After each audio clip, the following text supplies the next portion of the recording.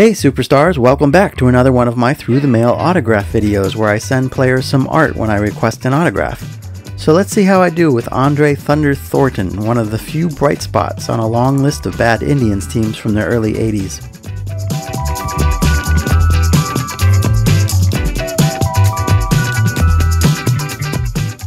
Andre had a nice 14 year career, mostly with my favorite team, and here I'm drawing him in the awful tomato red uniforms the Indians sometimes wore in the late 70s. Because they're so awful, they're awesome.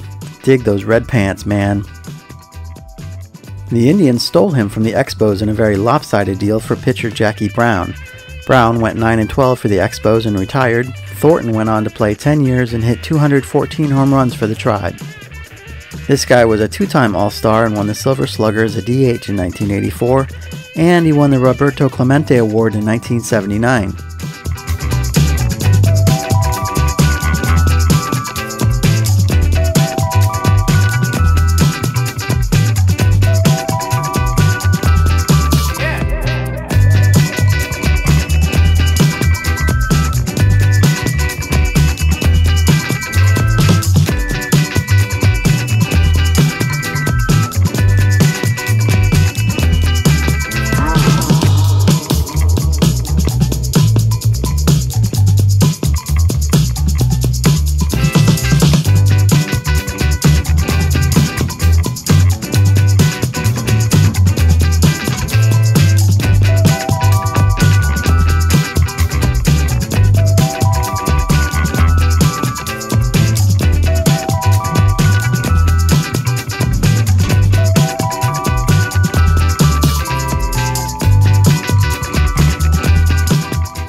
I got a little greedy by sending four cards, but I couldn't decide which ones to send, and I knew he was a good signer.